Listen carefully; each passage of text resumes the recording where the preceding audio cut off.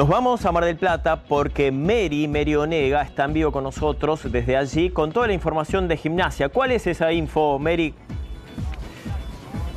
Hola Emi, ¿qué tal? Buenas tardes, un beso enorme y, sí, porque esta noche va a volver a jugar gimnasia, en este caso frente a Independiente y estuvo charlando en la previa de este partido Manuel Guanini, uno de los defensores que será titular en el equipo de, Pedro Troglio esta noche a partir de las 22.10 en el José María Minela, ya con equipos confirmados de ambas partes, ¿sí? tanto del conjunto que dirige Ariel Holland como el de Pedro Troglio. Eh, si te parece, o repasamos las formaciones o escuchamos a Manuel Guanini. Decime vos cómo venimos.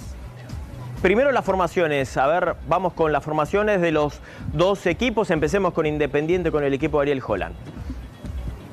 Dale, Ariel Holland, como decíamos, eh, va a estar campaña en el arco, Bustos, Alan Franco, Benítez y Gastón Silva en el fondo, Nicolás Domingo, Pablo Hernández, Ceruti y Gaibor, Brian Romero y Benítez serán los 11 que van a parar eh, a partir de las 22.10, sin Silvio Romero, porque lo están cuidando, padece un traumatismo de tobillo derecho y también verán hasta último momento si eh, Burdizo va a poder estar, aunque sea en el banco de los suplentes. gimnasia? formará igual igual que frente a Racing, ¿sí? el mismo 11 para el entrenador del Lobo Platense, Martín Arias, Víctor Ayala, Guanini, Gifrey y Lich, en la mitad de la cancha Farabelli, Musis, Alexis Gómez, Comba, Silva y Tijanovic, los 11 para el Lobo Platense.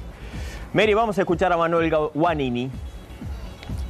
Dale. Capaz no me había tocado jugar mucho y, cuando me tocó creo que lo hice bien y me pude eh, afirmar creo que en los partidos que me tocó. Lo principal creo que es sumar puntos y aspirar a eso. Eh, entrar a una copa sería cerrar el, año, el semestre muy bien. Marcar un gol te da confianza, eh, te, levanta el ánimo y creo que, que sí, me siento muy bien. tiramos para arriba, tratamos de, bueno, justamente no mirar tanto para abajo y apuntar a eso que, te da confianza y te ilusiona.